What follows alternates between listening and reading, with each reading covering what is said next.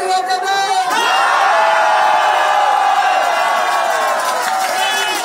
আজকে এই যে দাবি করেছেন, এটা কিন্তু আন্দোলনের একটা বড় জয় এবং স্বাস্থ্য ভবনের ক্ষেত্রে স্বাস্থ্য ভবন সাফাই করা অভিযান করেছিলাম তাতে ডিএমই এবং ডিএইচএস তাদেরও সরিয়ে দেওয়া হবে।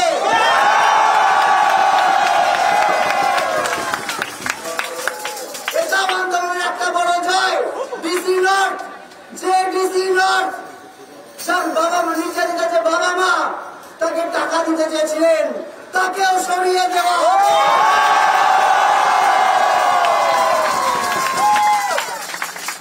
আজকে এতদিন পর, আটত্রিশ দিন পর, আমাদের যে আন্দোলন, তার পাশে সাধারণ জনগণের যে আন্দোলন, সেই আন্দোলনের চাপে কিন্তু এক প্রকার নতি স্বীকার করল রাজ্য প্রশাসন। খুব লজ্জাজনক, আমরা যখন তদন্তের গতি প্রকৃতি সম্পর্কে প্রতিটা পয়েন্ট তুলে ধরি, তখন তিনি ডিসি নর্থের প্রসঙ্গে যখন আমরা বলি যে নির্যাতনার বাবা মার যে বক্তব্য, যে তথ্য যখন তুলে ধরি, তিনি তার কাছে মাথা নত করতে বাধ্য হন। সেই জায়গা থেকে ডিসি নর্থকে সরিয়ে দেবেন বলে তিনি প্রতিশ্রুতি দিয়েছেন। আজ আমাদের যে স্বাস্থ্য ভবন অভিযানের পাঁচ দিন অতিবাহিত হতে চলেছে। আমরা মনে করেছি, আমরা বলেছি যে এই যে সাত দিন অতিবাহিত হতে চলেছে আমরা বলেছি যে স্বাস্থ্য ভবন কি পরিমাণ দুর্নীতির জায়গা দুর্নীতির চক্র। কে এই সন্দীপ ঘোষ? যে কার এই বাড়বাড়ন্ত কিসের জন্য? কিসের দাবিতে? সেই জায়গা আমরা রেখেছি। রিনোভেশন রিকনস্ট্রাকশন কার অর্ডারে কিসের ভিত্তিতে? সেই জায়গাও আমরা রেখেছি। ডিএমই ডিএসএইচ স্যারকে তিনি সরিয়ে দেবেন বলেছেন। এটাও আন্দোলনের যেমন একটা জয় হিসেবে আমরা দেখি ঠিক সেই রকমই আমরা প্যারালাল সাথে সাথে প্রশ্ন তুলেছি, কেন প্রিন্সিপাল সেক্রেটারি নয়? তার ওই রিনোভেশন রিকনস্ট্রাকশনে কার সাইন ছিল? তিনি কি? কেন তিনি? এই জায়গা থেকে অপসারিত হবেন না।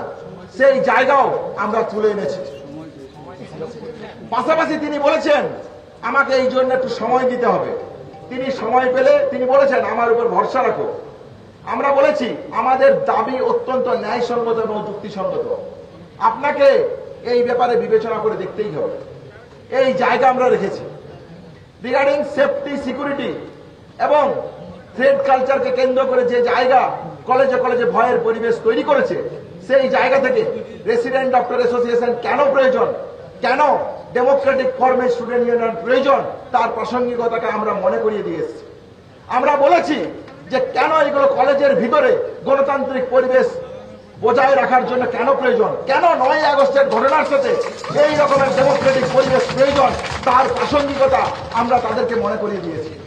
তিনি একটা টাস্ক ফোর্স গঠন করতে চেয়েছেন। আমরা মনে করি যে এই টাস্ক ফোর্স ছাড়াও তার আগে তাদের দিক থেকে কিছু সদর্থক ভূমিকা এই বিষয়গুলো নিয়ে থাকা প্রয়োজন। তিনি কিছু টাকার স্যাংশন করেছেন, সেই নিয়েও আলোচনা করেছি। কিন্তু আমরা মনে করি গণতান্ত্রিক পরিবেশ যদি কলেজের বুকে না থাকে, যত টাকাই আপনি নিয়ে আসুন, তা দিয়ে এই সমস্যার সমাধান সম্ভব নয়। তাহলে এই জায়গা থেকে আমাদের যে দাবি ছিল, আমরা তাদের সাথে আলোচনায় আবার বসতে চেয়েছি। কেন আমরা মনে করি রোগী কল্যাণ সমিতির মতন জায়গা, যেগুলো কলেজের মুখে দুর্নীতির আতুর ঘর? কেন ডেমোক্রেটিক স্টুডেন্ট ইউনিয়ন দরকার? কেন রেসিডেন্ট ডক্টর অ্যাসোসিয়েশন দরকার? এই যে কলেজে কলেজে থ্রেড কালচারের যে পরিবেশ তৈরি হয়েছিল, যে ভয় ভীতির পরিবেশ তৈরি হয়েছিল, সেই ভয় ভীতির পরিবেশকে সমূলে উৎপাদন করা কেন প্রয়োজন? সেই প্রাসঙ্গিকতাও আমরা মনে করিয়ে দিয়ে এসেছি। কেন কেন কলেজের বুকে পাঁচ ফেলকে কেন্দ্র করে বিভিন্ন ছেলে মেয়েদেরকে হ্যারাসমেন্ট রেগিং এর মতন নোংরা কালচার কলেজের বুকে জন্ম নেয়?